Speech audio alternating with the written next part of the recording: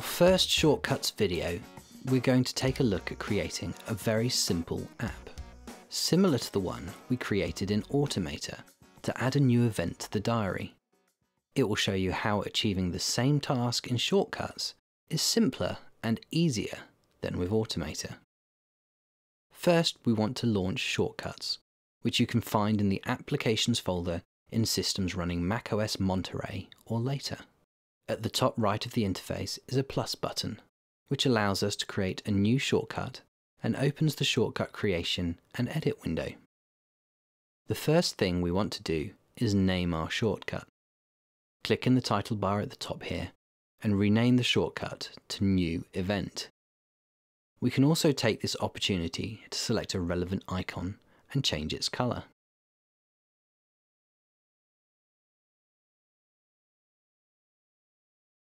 The right hand side of the window is where we find our actions. We can browse them either in categories or by app. Select apps and then find the calendar entry. The bottom of the window reflects our selection and shows all actions that relate to the calendar. We want to use the Add New Event action. To add it to the shortcut flow, we need to either double click it or drag it into place.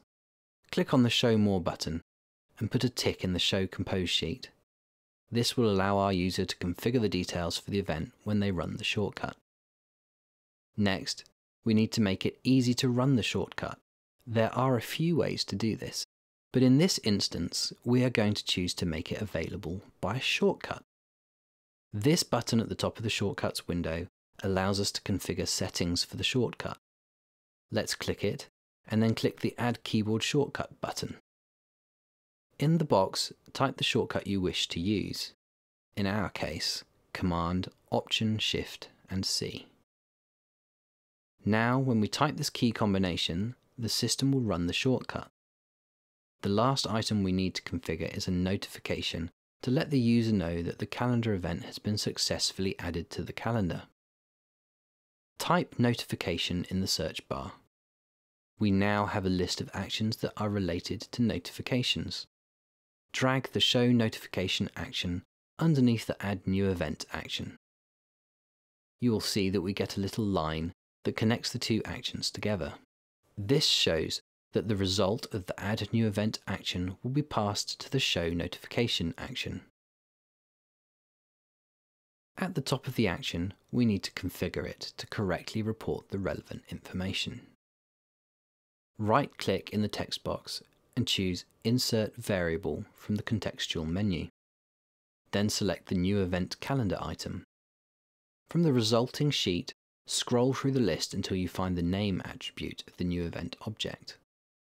We now get a little token in the text box to show us which data it will be pulling from the new event. Let's add another.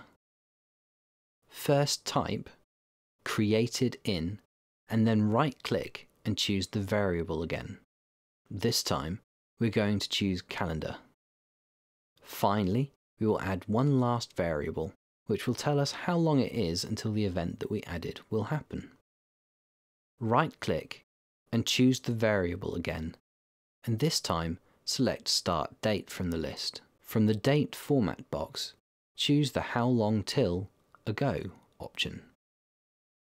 Now we can test our shortcut.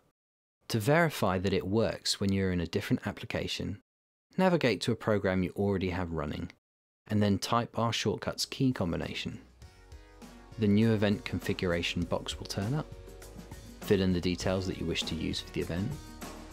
Click Add. The event is added to the calendar, even if it's not open, and we will get a notification in the Notification Center with the specified data.